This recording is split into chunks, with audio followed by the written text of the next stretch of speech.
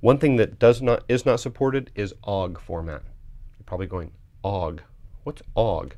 well, OGG is a, is a, a lot of videos out on the internet that are in the public domain are in the OGG format. Um, let me give you an example. If I was to go to, I believe it's Wikimedia. Yeah, I think, yeah, right here, Wikimedia. I think that's what I want. Actually, go back. I think I want Wikimedia Commons. Wikimedia Commons is what I want. And you click on that, and you can do a search for something like, oh, I don't know, Apollo. Ah, I had a typo. Delete Apollo. And then in here, I probably should add moon, I suppose. Let me do another search on that. Here we go. And so what we find is you find a lot of, uh, this is uh, public domain content that you can use for whatever you want. Uh, it's basically, you don't have to worry about it, but here's like an OGG. There's a file on there. Uh, here's a, a, a, video in the OGG format. If you click on that, there's the video file. And you can download this file, this OGG video, which is this file right here. And unfortunately, QuickTime 10 does not support, oh look, it crashed. um, it doesn't support the OGG format. So that's a little bit of a minus. However, there is a plugin in QuickTime 7, the old version, that did allow you to play and save into a different format because OGG is pretty much kind of like an open source type of format. Linux people love it. So you can download this little QuickTime component. It's the uh, Xiph.org. And we'll, again, we'll have a link to this on our AskTheTechies.com episode on QuickTime X. And so you'll be able to find that. Um, but basically, you can come over here, you can download it. it downloads really fast. Right there, it's on the desktop. It pops up. And it gives you uh, directions on what to do in here, but I'm going to show you. This is the QuickTime plugin. And basically, what you do is you add it to your library folder components. Now, you can do it for just your user or for all users. I'd say go ahead and do it for all users. Let me drag that out of there. Go back here. And in the, uh, this library on the hard drive, you can go into components there as well. And you pop it in there. Ta-da! Okay. Now, when you try to go to your movies folder, and uh, there's that OGG video, that Apollo liftoff that I, I, downloaded earlier. I can drag that on top of QuickTime 7. And it opens up, and now this will actually play.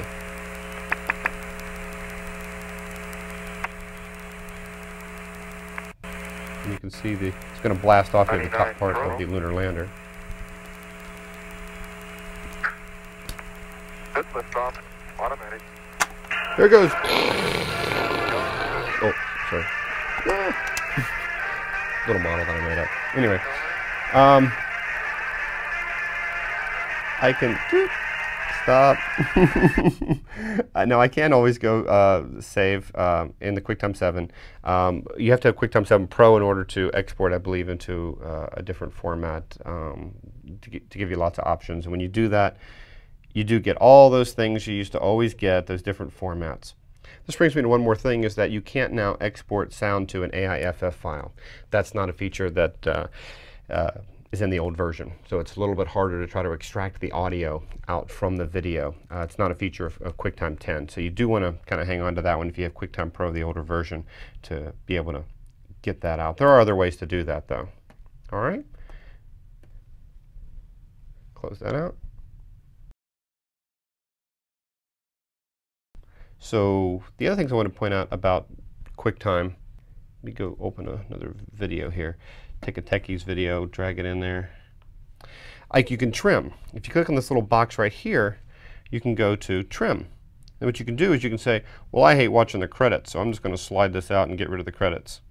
Or I can say, I just want this one section of the video. And I can slide it, get to the right point, and then I click on trim, and now the video's, that's the end of the video. So you shortened it. You can say trim again. And I want to get rid of the opening part. I hate that techies music. and you hit trim, there you go. So you can trim it right in there. You don't have to have a pro version of QuickTime in order to do that. In fact, there is no pro version now with QuickTime 10. There's just one version. But that's an easy way for you to do a little trimming on your video if you want. To, to especially get out that little part like uh, where you hit record and then there's a little mess up, you know, or something where you just kind of, you know, the camera jars a little bit or something like that. So you can edit those parts out. One other thing about the plane, let me actually grab a, another video. So uh, don't save.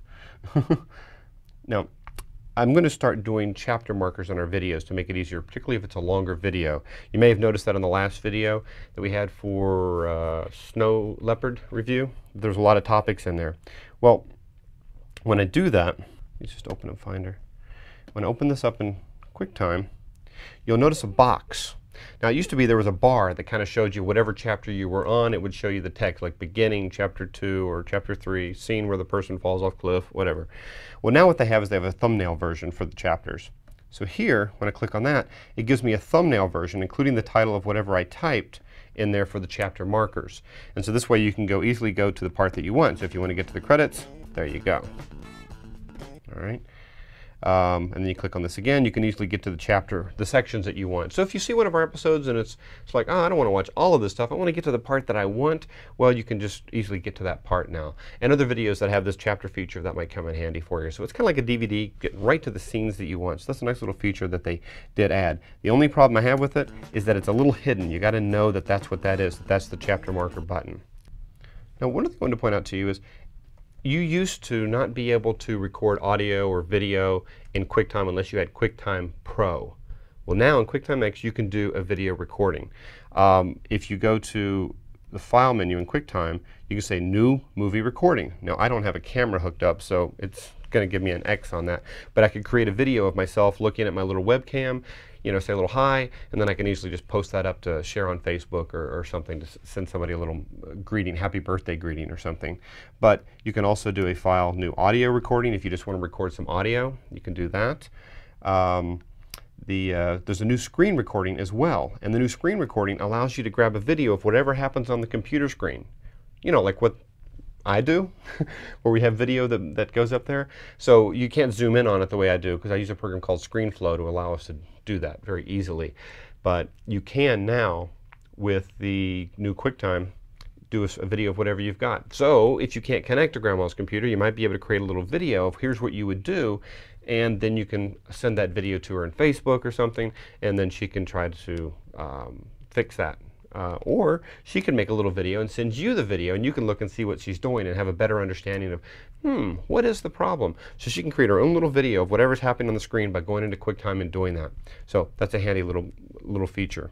Um, and you have an opportunity for low quality or high quality. High quality um, makes the file really smooth. The, the, medium quality is the lower one.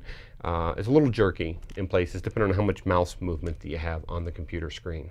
Okay, so it's a nice little feature. Well, there's a lot of new little features in QuickTime.